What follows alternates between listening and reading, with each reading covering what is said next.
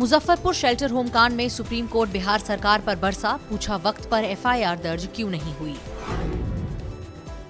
राजनीतिक संवाद के स्तर पर आई गिरावट के दौर में पूर्व पीएम डॉक्टर मनमोहन सिंह की सलाह, सार्वजनिक भाषणों में एक प्रधानमंत्री की तरह संयम बरते मोदी। मानव संसाधन विकास मंत्रालय ने दसवीं क्लास तक बस्तों के वज़न की सीमा तय की, पहली दूसरी क्लास के बच्चों को होमवर्क न देने का आदेश। अरविंद केजरीवाल की सुरक्षा में फिर चूक, मिर्च पाउडर के बाद एक शख्स कारतूस लेकर पहुँचा, गिरफ़्तार। एलजेपी नेता चिराग पासवान ने उपेंद्र कुशवाहा पर निशाना साधा, कहा दो नावों की सवारी ठीक नहीं।